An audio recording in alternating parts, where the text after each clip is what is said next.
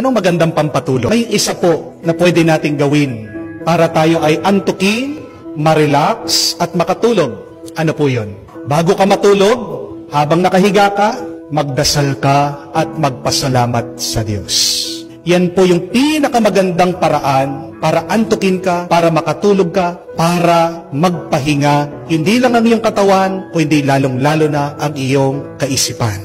Because remember that very beautiful quote that says, If at night you cannot sleep, count your blessings instead of sheep. Kung gabi na, hindi ka pa rin inaantok, hindi ka makatulog, bilangin mo, pagmasdan mo, tingnan mo, ang pagpapala ng Diyos sa buhay mo, imbis na magbilang ka ng tupa sa isip mo.